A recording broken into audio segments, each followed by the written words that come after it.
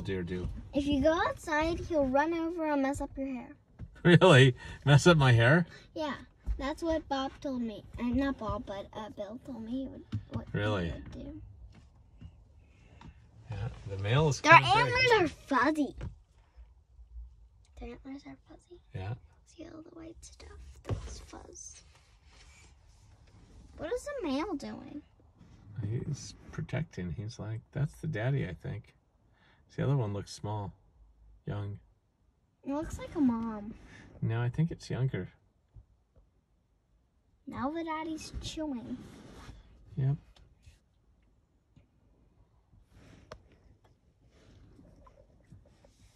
The other one's eating weeds. Do not go out, mommy. I know you wanna. I